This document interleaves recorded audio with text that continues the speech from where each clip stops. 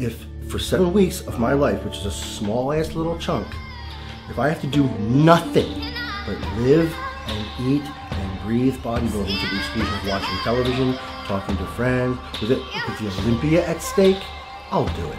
I'll do it. If I had ever made it to that level and the Olympia was at stake and I had a shot at making history, I mean, I could be the first guy to ever win the Olympia the first shot. I don't give a f- what I have to do.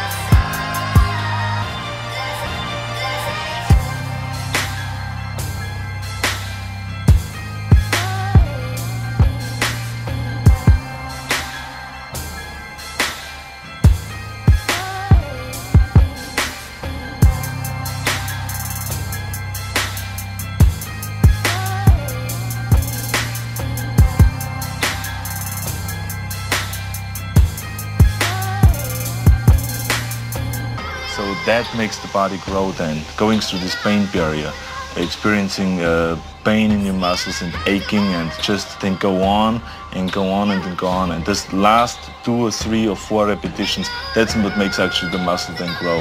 And that uh, d- divides then one from a champion and one from not being a champion. If you can go through this pain barrier, you make it to be a champion. If you can go through, forget it.